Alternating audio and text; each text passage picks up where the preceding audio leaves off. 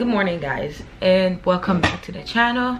So today i wanted to show you guys like a makeup no makeup look that i've been doing. Um literally all my makeup is in this bag because i went back home. So it might take some time for me to find anything. But yeah i've been doing this makeup look and i think it literally takes like well i'm not gonna say less than five minutes because my eyebrows are the only thing that like i take my time to make them quote unquote perfect so it might take some time but i wanted to show you guys how it's done. Hold on let me find my eyebrow pencil and stuff. It's a mess. That's why i don't like using these bags. Most of the time you spend searching and not finding anything. Okay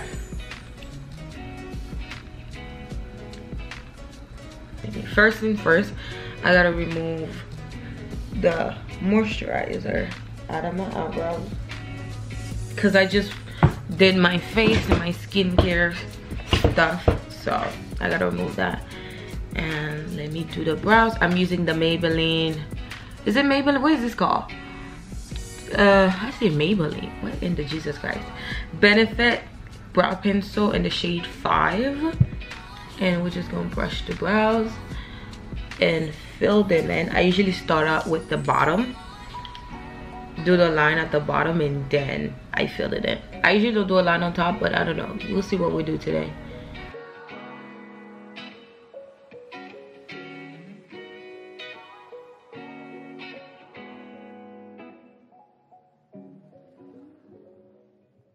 Okay after doing that then i blend.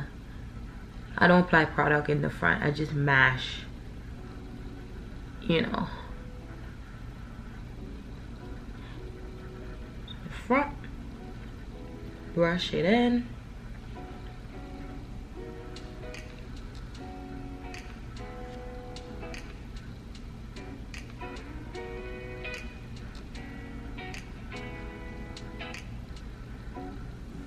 My next video i'm gonna show you guys how i um clean my eyebrows and do it at home because i don't get my eyebrows done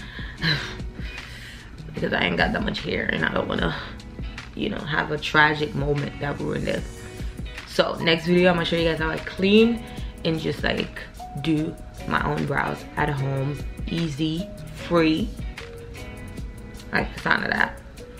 So let me do the other side. Same process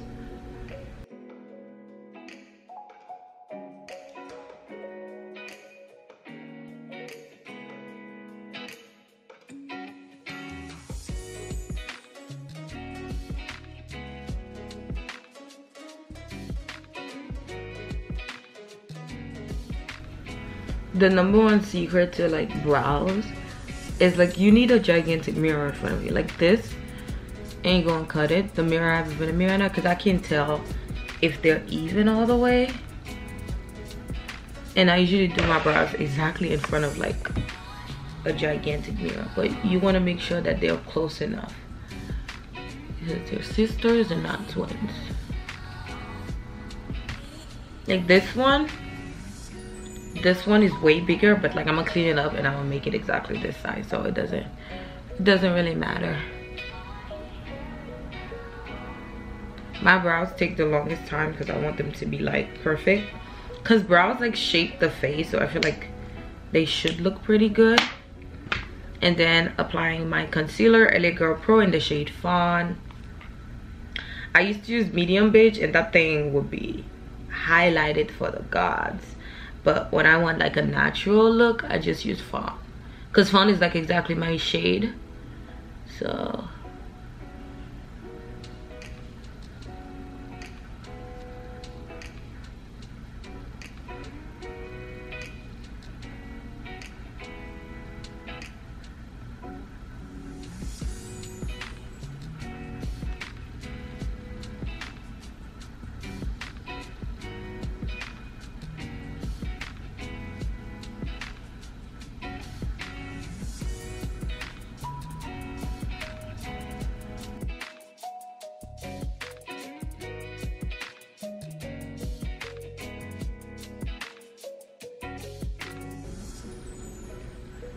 okay this is the closest. Oh my god it took me nine minutes to do all that. This is the closest it will get.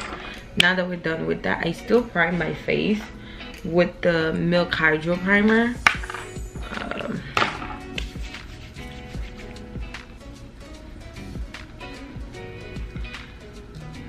i don't do anything crazy. Prime my face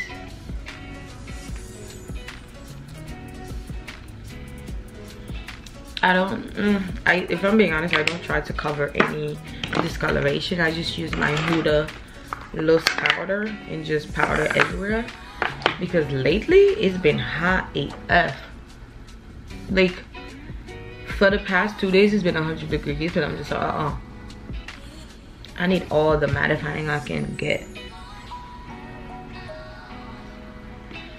And I've been noticing that I've been like extremely oily faster. So I'm just uh,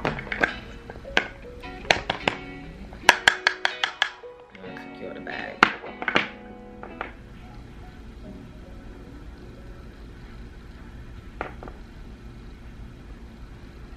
Even powder the brows.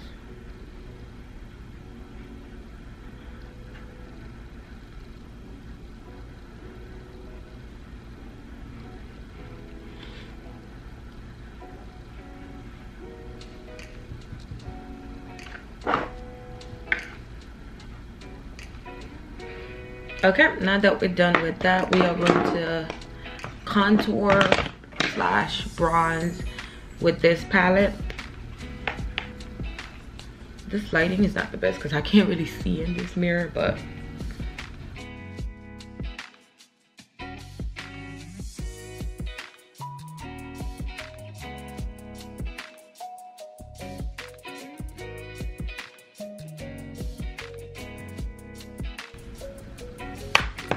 the cheeks and then I apply this bronzer by Anastasia Beverly Hills in the shade Mahogany. I apply a little bit because I don't know. I feel like this bad boy is strong.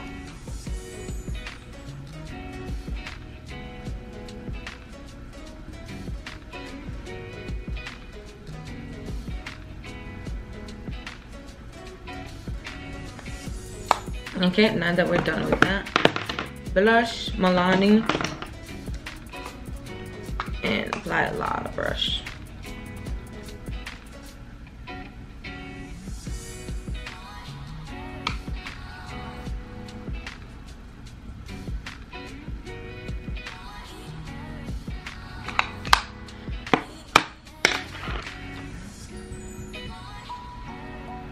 Okay now that we're done with blush I usually brush and I'm using the highlight in this palette. It's way more natural than the other one I have and I'm like, if you don't want anything blinding, just use a natural highlight to give you an inner glow, quote unquote.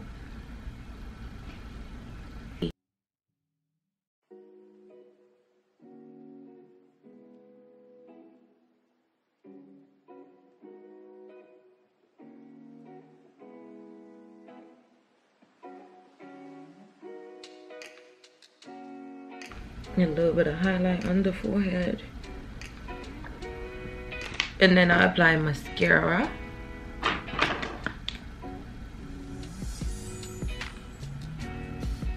Let me blush my brows first.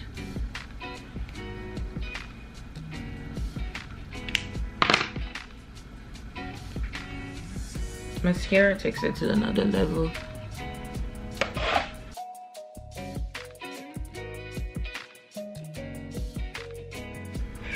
I need a new mascara because this one is dry. Like I, I don't know. I feel like I had it for like years. So I'm in desperate need of a new one.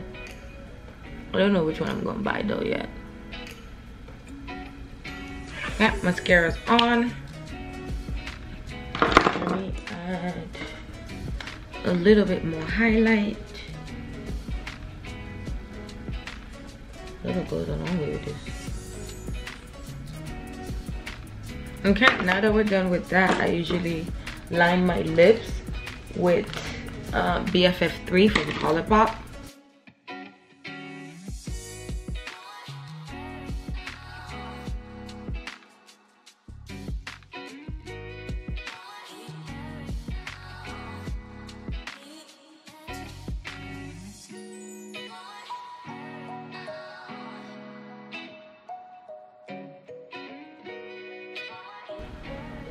okay? And then apply fenty beauty gloss bomb all on my lip. And that's it. And now i'm gonna set my face. Uh hold on. I'm gonna set my face. Give me a second. Let me go find the settings. So yeah. This is this is the final look. It's easy. It's seamless. It's beautiful and you look semi-presentable in a shorter amount of time. So today i'm going to make banana bread and i'm gonna film it. So stick around. Yeah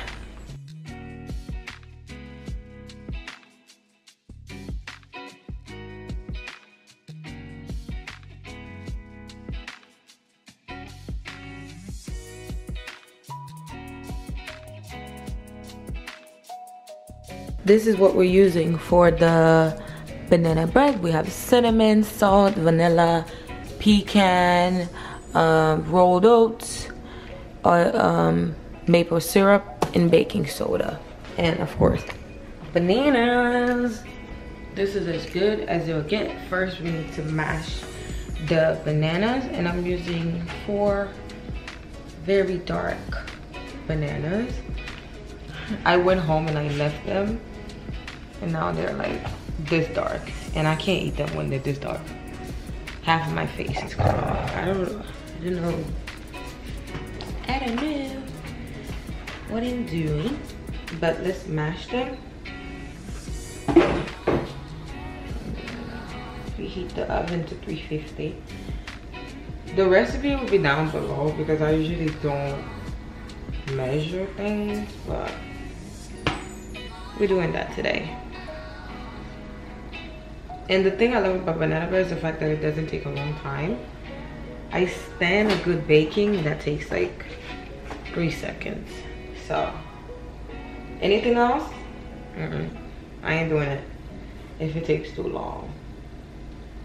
And I'm only doing banana bread, not because I'm craving or anything, but I gotta do something with these bananas. And I don't like, like, frozen bananas in smoothies. I like them to be fresh because I feel like the sweetness is gone the minute you freeze them. So, I can't use them for that, but I can have some banana bread before I go to sleep every day.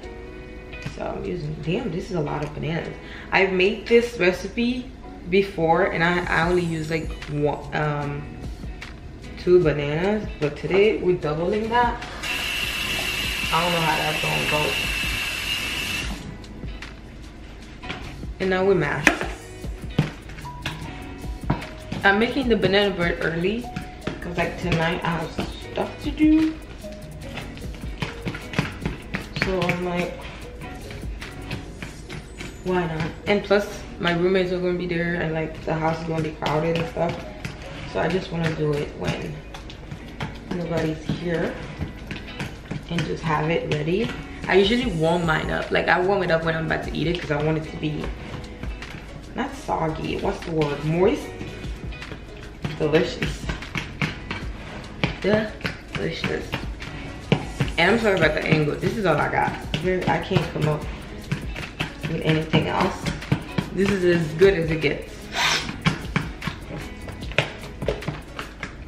It should look somewhat like this. It's gonna be so good. I'm so excited. I'm so This is the only thing I actually know how to bake. Because I always claim to be, I'm like, I'm not a baker. You know, I'm a chef but baking is not my forte.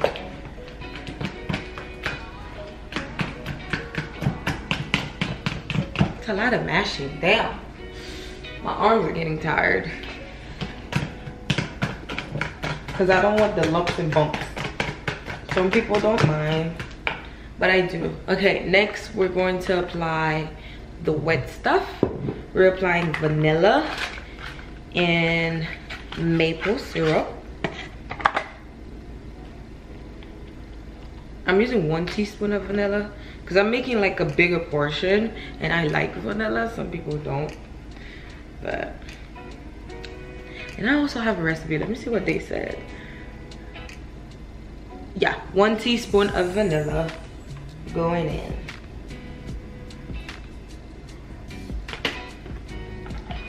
Okay. And then the maple syrup, we're using one cup of maple syrup. And one cup seems like a lot. Should it be one cup? One cup is too much. We're using half of a cup because that's too much. I don't need it to be that sweet. Yummy. This is the perfect amount.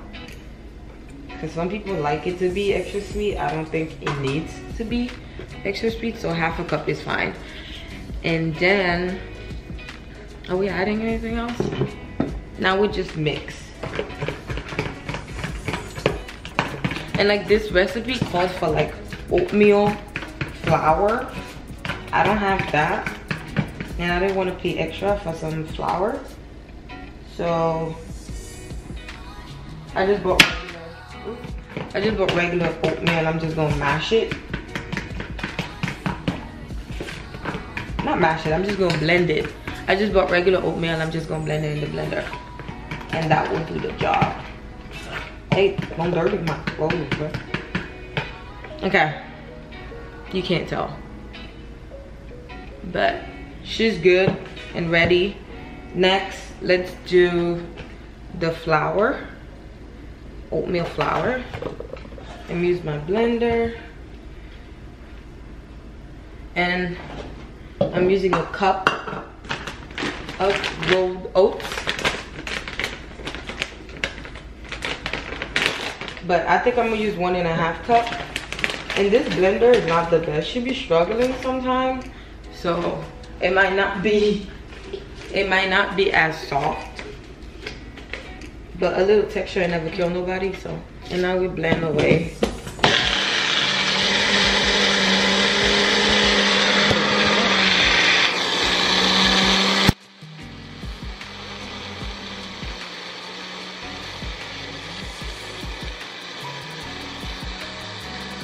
Okay, now that we're done with that, I'm going to apply a teaspoon of salt and baking powder and cinnamon all in this bad boy. We're starting off with the baking powder. One teaspoon. Let me verify. Yeah one teaspoon of baking powder. I meant baking soda. One teaspoon of baking soda it's like baking powder what the hell? Baking soda and the flour. And then the same thing with cinnamon and salt. The same thing with cinnamon. Cinnamon i'm just gonna dump it in it ain't it doesn't need to be measured. Unless you don't like cinnamon i stand. What the hell? And i ran out of cinnamon. I didn't even know i didn't have any more cinnamon. Well that's embarrassing. Now i know. And nutmeg.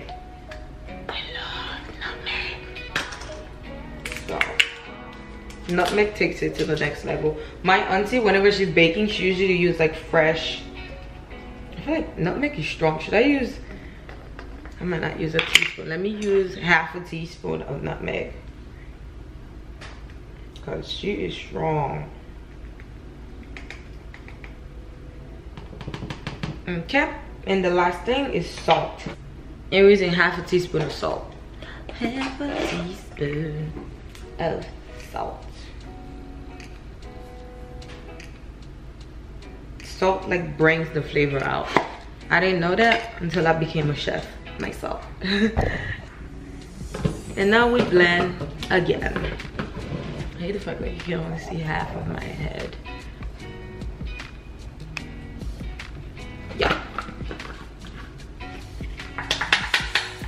and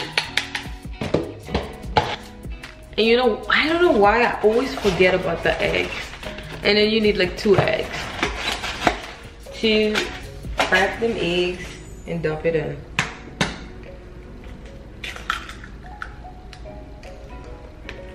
Yum.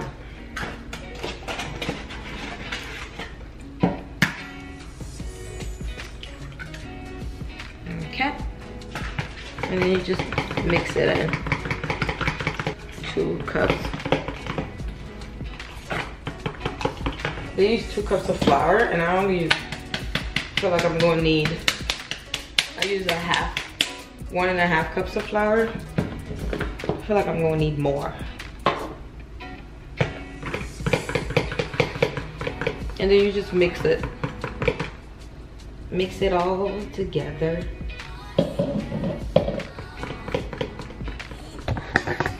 Let me show you guys.